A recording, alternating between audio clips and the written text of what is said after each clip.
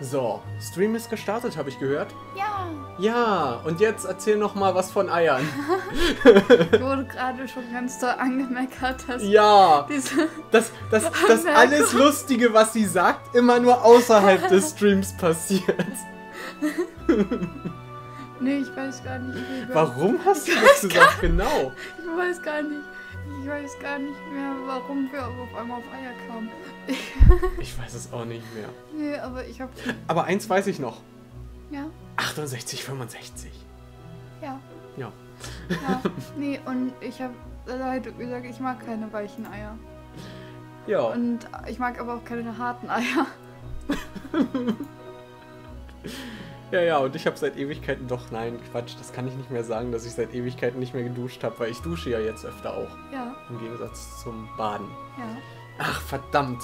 Na gut, so, ähm, hörst du denn genug, oder? Ja, ich höre genug. Besser? Ich höre genug.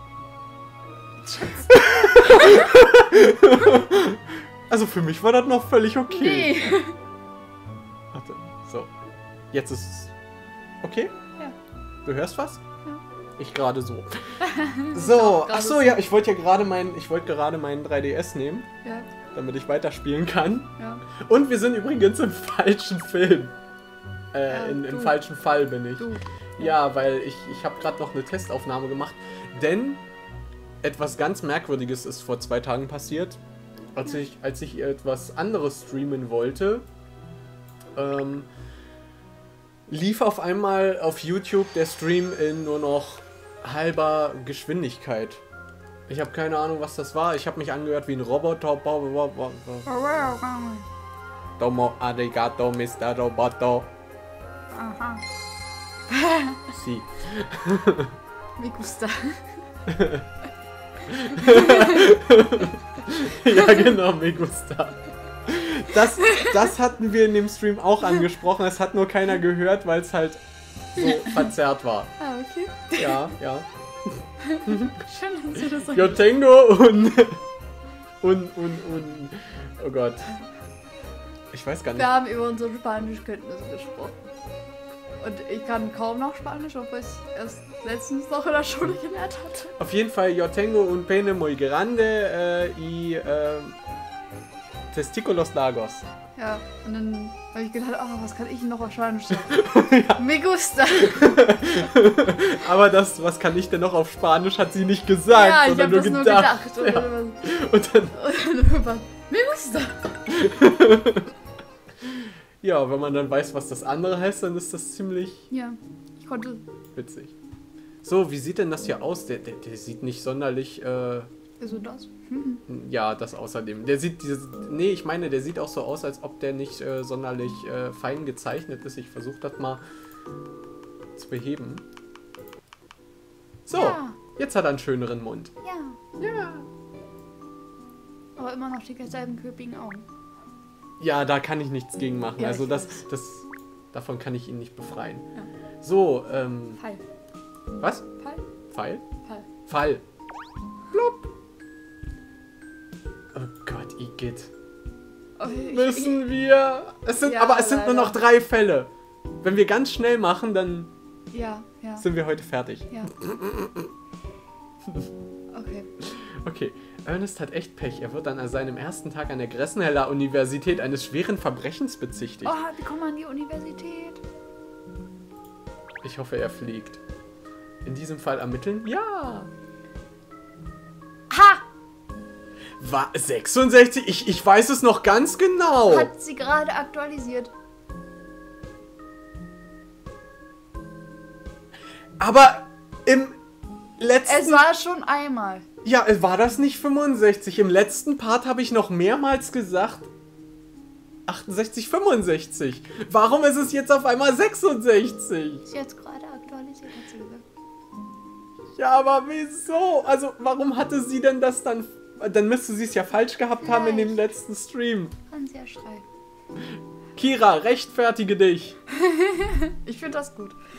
ja, ja, ich, ich finde das auch nicht so schlimm oder so, aber trotzdem, ich habe mit 65 gerechnet. Das bringt mich ganz durcheinander. Aber egal. Hallo, Shirl. Ah, da bist du ja, Nadelstreifen. Ich hab dich schon langsam vermisst. Äh, was? Miss Layton hatte mich gebeten, auf dem Weg schnell noch etwas einzukaufen. Da hätten wir Tee, diese Modezeitschrift, einen kleinen Snack für später, dieses rosé-goldenfarbene Handy. Das er hat. Ja, was Ernest hat. Ja. Ernest hat ein rosé-goldenfarbenes Handy. Er hat sich auch für die äh, Tapete hier entschieden. Was? Im Video korrigierst du's? Jetzt Ah. Okay, also, also, aber, aber ich habe im Video immer gesagt äh, 65. Dann habe ich das überlesen vielleicht, aber, Vielleicht. aber wirklich, also ich, ich habe es ja sogar noch als allerletztes in dem Video, als Ja. letzten Satz, glaube ich, gesagt, bevor du dann Tschüss gesagt hast. Oder, nee, wir, wir beide gleichzeitig, glaube ich sogar. Wie auch immer. Äh, Snack für später und noch ein Snack für später und noch mehr Snacks und noch mehr Snacks und... Also bist du mal wieder der Lauschbofe. Der Lausch... Ah, das sind Lauschburschen, sind Leute beim Geheimdienst. Ja, Lauschburschen, das, das, ich mag das waren Wort. früher bei der Stasi. Lauschburschen. Das klingt echt so. Hm. Ist Miss Layton denn noch nicht hier? Sie ist schon los. Sie meinte, sie kommt erst spät zurück. Oh, wie schade. Das erinnert mich gerade an was. Bei welcher? Ah, das war bei bei, bei, bei Superball, damals in Sat 1. Das ist, glaube ich, zu alt für dich. Da gab es da immer, wenn, wenn äh, irgendwie den, also da hat man irgendwie, glaube ich, mit den Telefontasten oder so diesen Superball gesteuert. Der, der ist dann halt so, also, nee, der war unten und der Hintergrund ist so runtergescrollt und dann sind da äh, Steine und sowas runtergefallen zum Beispiel. Und, ähm, ja, wenn man da verloren hat, kam da so ein, so ein Jingle, oh, wie schade. Ja, so haben die das irgendwie gesungen. Nicht so, nicht so schlecht wie ich gerade, aber egal. Okay, also auf jeden Fall, ich halte jetzt mal die Fresse und spiele endlich das Spiel weiter. Ja. Sie hat eine Nachricht für dich hinterlassen. Willst du sie hören? Der, der ging bestimmt ans Telefon und hat dann gesagt, sprechen Sie bitte eine Nachricht nach dem Piepton. Piep. Natürlich, meine Güte, das hört sich unheimlich wichtig an. Ich kriege ganz schön schwitzige Hände. Na dann, bist du bereit? Ahem. So, das musst du jetzt in ihrer Stimme mal lesen. Ernest, während ich unterwegs bin, räum auf. Er kann gut ihre Stimme nachmachen. Das ist alles? Ich fürchte schon. Nicht ganz, was du erwartet hattest. Hm, ich fühle mit dir. Nein, nein, das ist schon in Ordnung. Ich hatte geahnt, dass es darum geht. Also, wo fange ich denn am besten an? Tja, den letzten beißen die Hunde, was? Jetzt musst du für, für deine Chefin aufräumen, weil sie sich aus dem Staub gemacht hat. Ach, das würde ich nicht so sagen, Shirl. Sie räumt ja auch auf. Tut sie nicht, oder? Aber nur, wenn sie aufräumen will. Wenn sie nicht aufräumen will, tut sie es auch nicht. Sie ist einfach sie selbst. Das ist genauso wie, wenn ich will, wenn ich will, kann ich auch. Mit dem Rauchen aufhören, nein, Kann das ich, ist... ka- kann ich auch nicht mehr so viel Schokolade essen. Achso, ja, du kannst mit der Schokolade aufhören, Ja, genau. wenn ich will.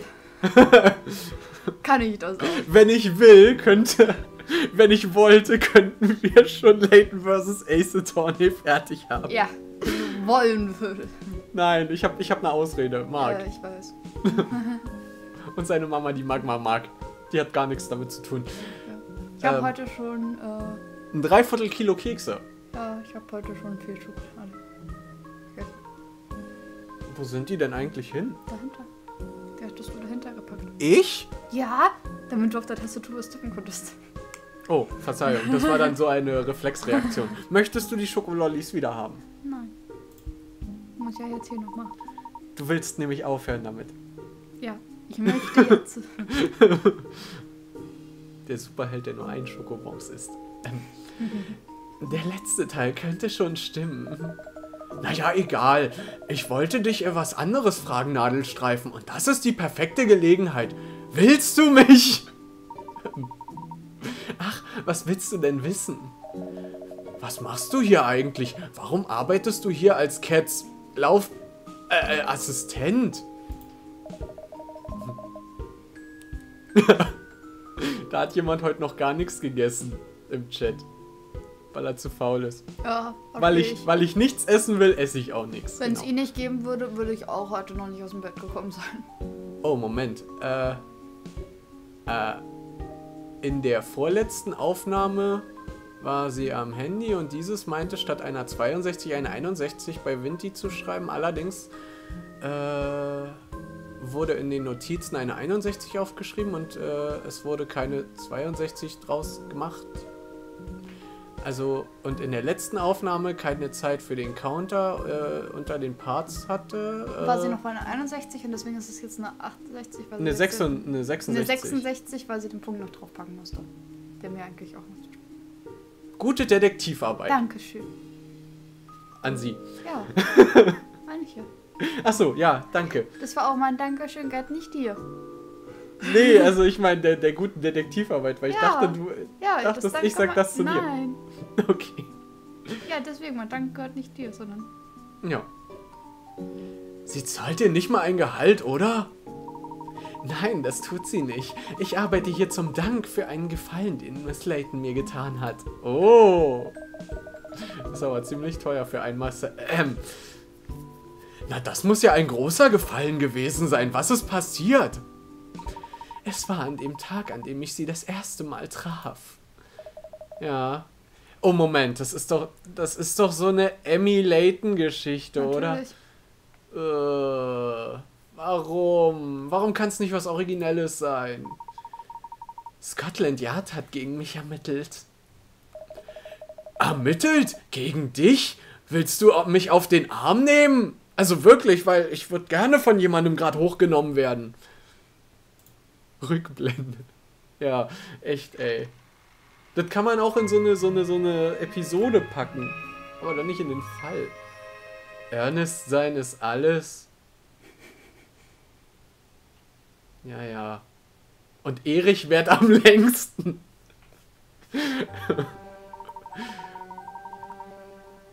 Inspektor Hastings hatte mich in sein Büro zitiert. Es gab einen Diebstahl und ich war der Hauptverdächtige. Ernest Rowrich, Sie haben den Diebstahl begangen, nicht wahr? Ich? Nein, ich war es nicht. Ich bin unschuldig, Inspektor. Ich schwöre es. Und dann habe ich ganz heldenhaft den Inspektor darauf hingewiesen, dass ich es nicht war. Schluss mit dem Blödsinn, Junge! Ich weiß, dass Sie in äh, Dr. Ohms. Dr. Ohms Labor. Droms? Nee. Ohm, Dr. Ohm klingt nach irgendwas mit Ohren, ne? Ja. Mit Hören. Mit Akustik.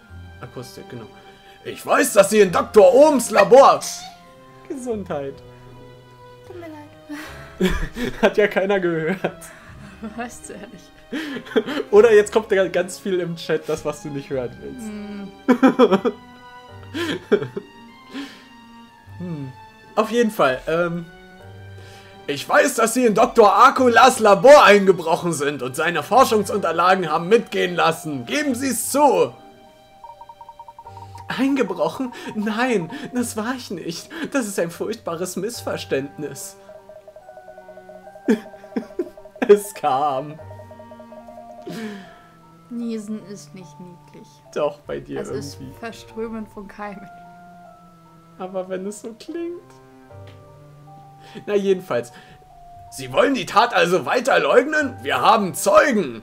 Das ist Ihnen klar, oder? Man hat gesehen, was, äh, dass Sie da, wie Sie da, also und wo Sie da rumgeschlichen sind. Glauben Sie wirklich, dass ich noch mehr Beweise brauche, um Sie festzunageln? Junge! Aber wenn ich jetzt ehrlich, äh, wenn wir jetzt, Sie jetzt ehrlich sind, können Sie Schlimmeres verhindern. Aber, aber ich habe gerade erst an der Gressenheller Universität angefangen. Warum sollte als ein Erstsemester wie ich... Oh, die Klassenhalle Universität? Du hast das ja schon... Ja, tut mir leid. Ich habe gedacht, da würde ich ja nicht reden, wo es aber kann ich schon mal vor. Damit ich es nicht vergesse. Oh, natürlich, das perfekte Mädchen.